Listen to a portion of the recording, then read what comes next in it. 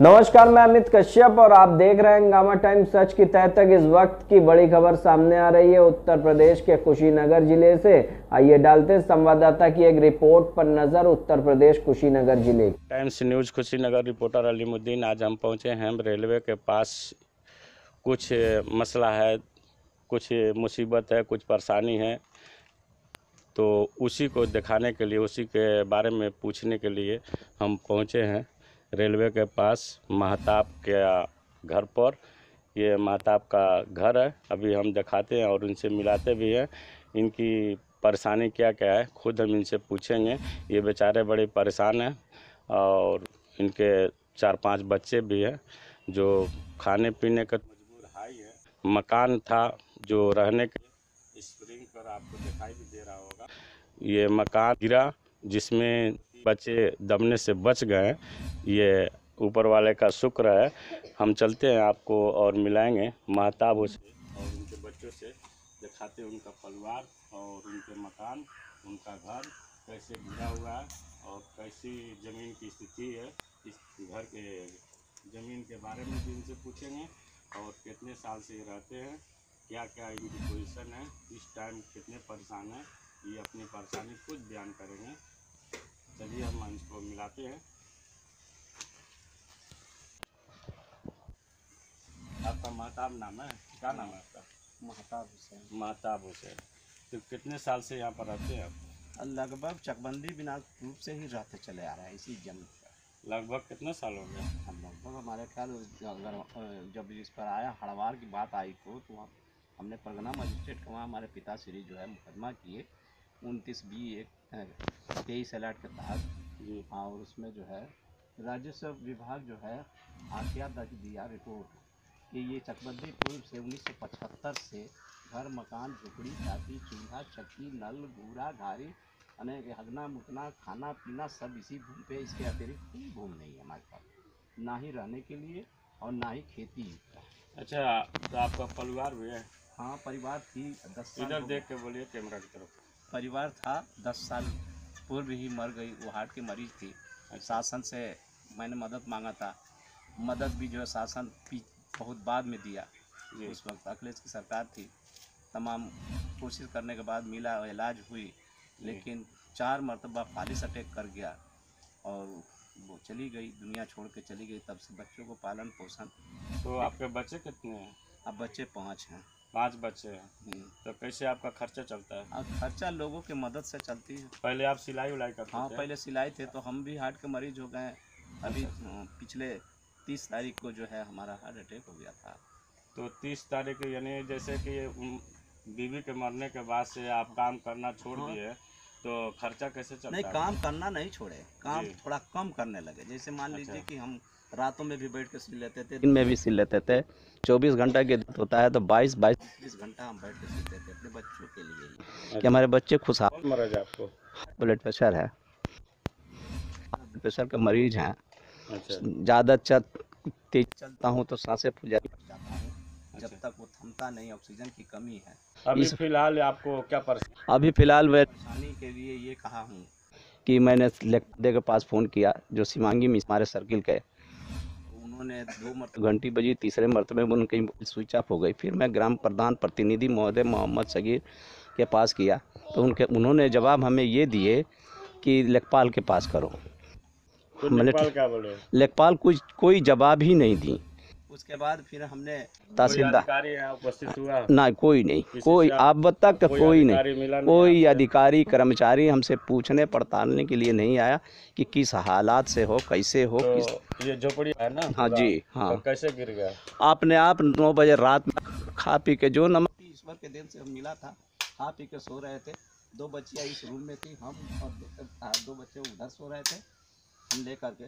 तो सारा जो है अंदर के पाखा था दोनों वो पश्चिम की तरफ़ डल गया और मैं जो है उठ के चला गया था पेशाब के लिए। उतने देर में गिर गया चौकी भी जाके देख लीजिए बिस्तर लगी हुई है सब कुछ लगा हुआ है। उस दिन से हम लोग बाहर इसी जगह पर आग बार के तो खाना वाना कैसे आप बनाते हैं खाना वाना जो ये चूल्हा है हम्म, इसी पर बनता है। अच्छा। हाँ इस वक्त भी खाली सिर्फ़ चावल ही बना है। हम्म। कोई दाल सब्ज़ी नहीं है क्योंकि आमदनी नहीं है हम बीमार हैं। हमारी दवा भी जो है दो दिन से उसी मिट्टी में दब गया है जो गिर गया है। खोज रहे हैं मिल ही नहीं रहा कहीं छटक गया कि क्या हो गया।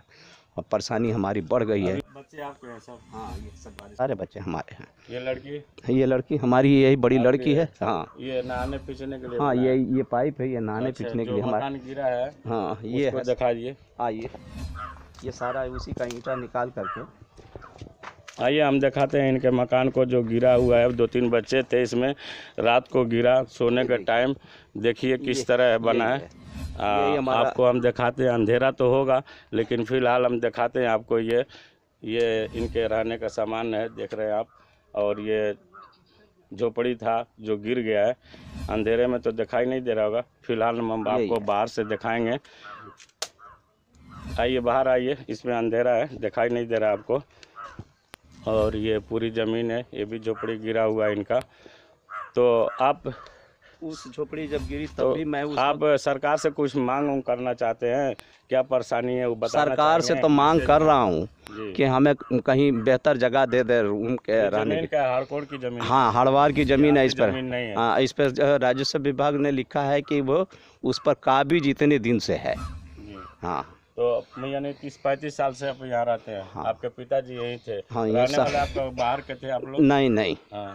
यहीं बगल के गाँव हमारे पिताजी बहुत छोटे थे इतने उम्र के थे ये देखिए इतने उम्र के। हाँ आठ दस साल के थे। हम्म, तभी उनकी माँ बाप मर गया वो भी काफ़ी पैसे वाले थे। अच्छा। और काफ़ी खेती थी लेकिन इतने बड़े लड़के अपने ज़मीन को कब्जा नहीं कर पाएगा चाहे हम ही क्यों ना हो। अच्छा तो ये बरसात में तो आपके यहाँ पानी हाँ बरसात में ये सारा पानी से भर जाता है। तो फिर आप लोग कैसे खाना वाना बस खाना वाना बस। खाना वाना बहुत मुश्किल से बनता है। अच्छा अच्छा। हाँ वो स्टोव रखा हुआ है, अब तो कोटे में मिट्टी का तेल भी नहीं मिल रहा है। अच्छा। हाँ, बहुत दिक्कत से कही नहीं तो किसी के घर से मंगवाते हैं। अच्छा। वो सामने लड़का खड़ा हुआ उनके घर से अच्छा खाना आ जाता है। मोदी जी मोदी जी योगी जी कहते हैं कि यहाँ घर घर हमने गैस दिया। नहीं क्या गैस नहीं हमारे पास आपके सामने घर है खुला हुआ है गैस है नहीं अच्छा है अच्छा। तो वो सब बेकार है हवा हवाई की तरह बात होता है। मुख्यमंत्री जी प्रधानमंत्री नहीं नहीं तो नहीं नहीं नहीं। हमारे पास तो हमारी इतनी बड़ी लड़की हो गई शौचालय के लिए बाहर जाती है। अच्छा अभी शौचालय भी आपके कुछ नहीं मिला है। सरकारी लाभों में अगर मुझे मिल रहा है अनुदान के तौर पर तो सिर्फ़ एक राशन। अच्छा, बस। अच्छा। और उसके साथ कुछ नहीं। यानी गैस सिलेंडर भी आपको नहीं मिला कुछ नहीं कुछ नहीं। अभी तक? अभी तक। बड़ा परेशान है। ये देखिए आपके सामने है। कितनी परेशानी इनको है। रहने की जगह नहीं है। आप भी देख सकते हैं यहाँ शौचालय भी अभी तक इनको नहीं मिला है जिसमें इनको तो मान लीजिए कि खेती है लड़कियों तो- को बाहर को लड़कों को बाहर खेती जाना पड़ता है है तो खेत खाली है तो आदमी चला जाता है। लेकिन अगर जब बर्फ़ बारिश यहाँ पूरा पानी से भरा हुआ था तो बड़ी दिक्कत थी हमारे बच्चों को। ये सामने रेलवे प्लेटफार्म है ये बाउंड्री है। उसी टाइम में आड़ बेड़ करके पूरा जंगल हो गया था। उसी में शौचालय के लिए जाती थी। तो मुड़ के दिखाओ थोड़ा ये ये रेलवे का दीवार दिखाई दे रहा है आपको सामने और सामने ट्रेन भी लगी हुई है रेलवे का ज़मीन है यहाँ के इसके बाद और ये बाउंड्री हो चुका है। बाउंड्री के इधर इनका मकान है जो हाड़कोड़ की ज़मीन है। ये तीस पैंतीस चालीस साल से यहाँ रहते हैं इनके पिताजी भी के यहीं रहे और इन लोगों की पैदाइश यही हुई है। हमारी बीवी हमारी आप देख सकते है। ये बहुत परेशान हाल है। तो और कुछ आपसे कहना है? और क्या कहूँ सरकार के पास कल जो है मैं तहसीलदार कोई अधिकारी वगैरह आए नहीं अधिकारी नहीं तहसीलदार महोदय को कहा तो उन्होंने कहे कि हम लेखपाल को भेज रहा हूँ शिवांगी मिश्रा को। वो कल सारा दिन बैठ के जैसे आज बैठ नहीं। नहीं नहीं। को एक बार कोई आए कोई नहीं। ये सेक्रेटरी साहब आए थे तो सेक्रेटरी साहब का का नाम ये है कि भाई देखो आप सब कुछ मांग रहे हो हमसे। तो हम कहाँ दे पाएँगे? इस पर हम ना आवाज़ दे पाएँगे ना और कोई लाभ दे पाएँगे। तुम्हारी अपनी ज़मीन होता तब तक तुम्हारा हम घर बना देते। मेरे पास अपनी है ही नहीं। और सरकार का खाते से ये निकलता है कि ऐलान है मोदी जी और योगी जी की तरफ़ से। जो ज़मीन जिस पर है उसको जाँच करके उसी के नाम से कर दिया जाए। कहाँ हो पाता हाँ? है हाँ ऐसा तो नियम आया हुआ है। ऐसा तो कभी हमारे साथ कोई भी अधिकारी आके नहीं कहे। अभी तक आपको ना। नहीं है। फ़िलहाल हम आपको दिखाते हैं, हम जो ये झोपड़ी गिरा हुआ है, बाहर से चूँकि अंधेरा था, उसको हमने आपको नहीं दिखा पाया। हम बाहर से दिखाते हैं आपको।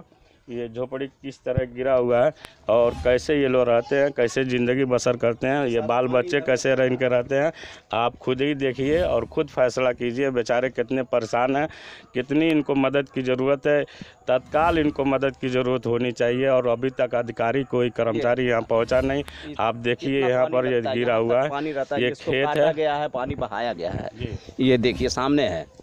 हाँ ये सब काट करके पानी बहाया गया है। यानी ये तो झोपड़ी झोपड़ी तो एकदम गिर चुका है। हाँ एकदम तो गिर कैसे चुका है। आप इसको बनवाएँगे? अब कैसे बनवाए वही तो सोच रहा हूँ।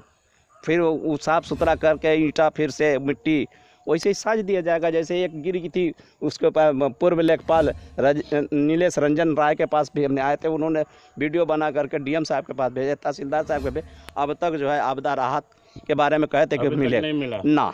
कोई कोई को- कोई नहीं, कुछ नहीं, कुछ नहीं। अभी तक। एक रुपया Hungama Times News Kushinagar reporter Alimuddin.